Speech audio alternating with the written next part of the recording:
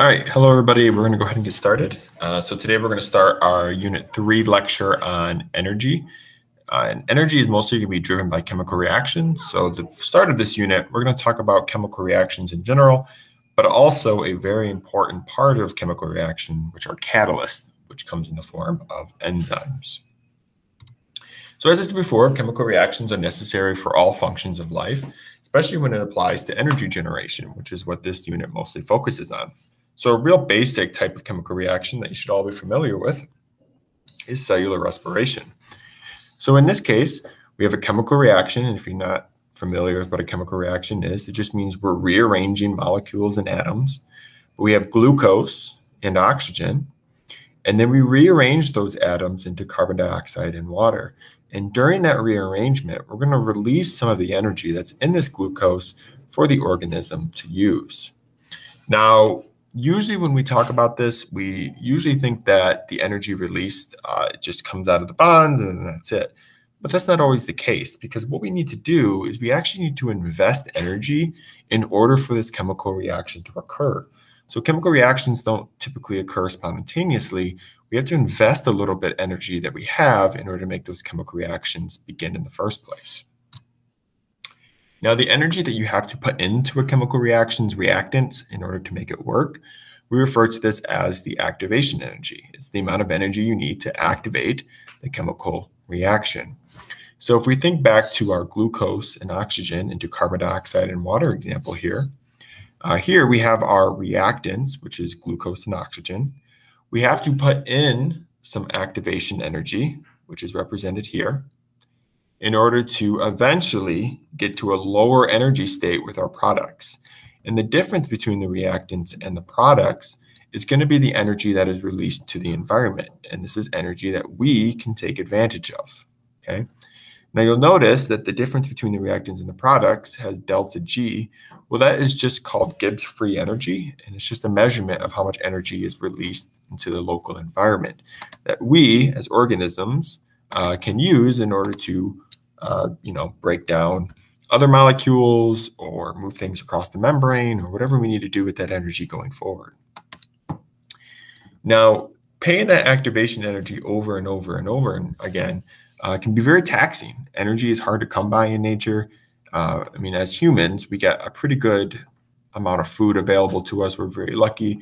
But typically, uh, in ecosystems or in life, you want to be as energy efficient as possible. That way, if you come upon lean times, you're able to still carry out the processes that you need to.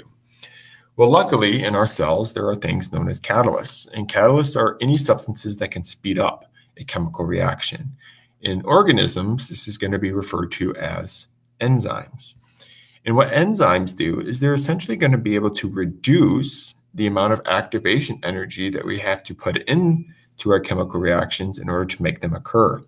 So here, as you see in the beginning, this is our substrates, also known as our reactants. And we're going to convert atom A and molecule BC into molecule AB and into atom C. So in order to make that happen, first we have to invest energy to break all the bonds. So you can see we've put in our activation energy. All of the atoms are separate, and then energy is released, and they form a lower energy variant, which is A and B together with C. So here you can see the amount of activation energy we had to put in in order to make it work. Now, what enzymes do is they're going to take this atom A and this molecule BC or whatever reactants we're working with, and they're going to put them into a more favorable state, which means they're going to arrange them uh, in a way in which the activation energy is lowered. So we're still doing the same reaction. We're still getting the same amount of energy out of it, but the amount of energy we have to input into the chemical reaction is being reduced, which is going to be highly beneficial to any organism. Now, enzymes are typically proteins, and they are going to consist of an active site that the substrates or the reactants are going to bind to. So here's our enzyme down here. You'll notice that there's an active site. The reactants or the substrate will bind to that active site and then the enzyme will cause the chemical, or not cause it, but it'll reduce the activation energy for that reaction to occur and then release the products. Okay, so you'll notice that the substrate is the same shape as the enzyme's active site.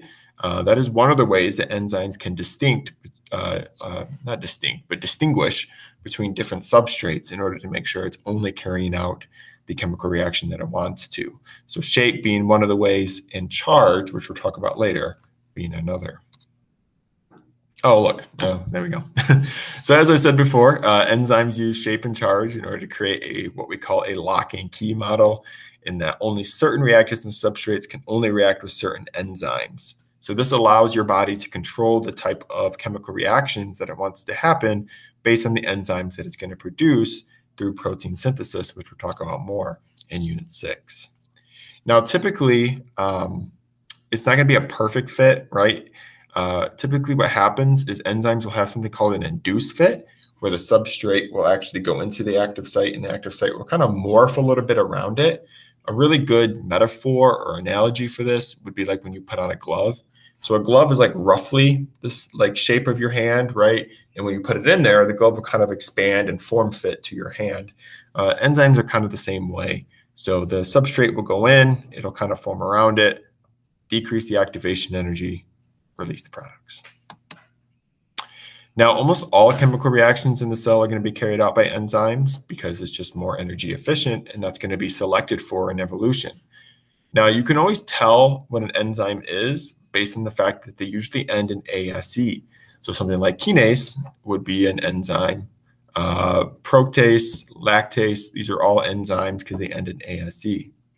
Now, typically enzymes don't work alone. They're not very isolated. They typically work in uh, tandem with other enzymes in order to perform several chemical reactions in order to build a final product.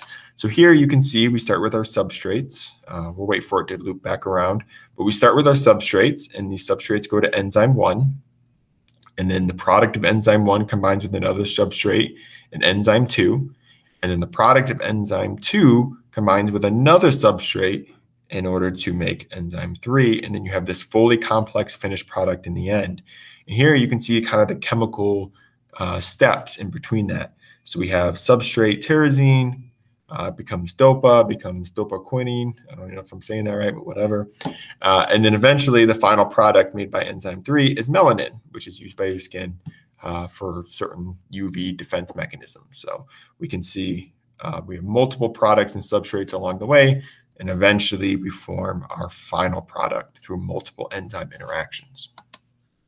All right, uh, and that's where we're going to leave it for today, no FRQ, but we will have a quiz tomorrow. So I will see you all then for the quiz.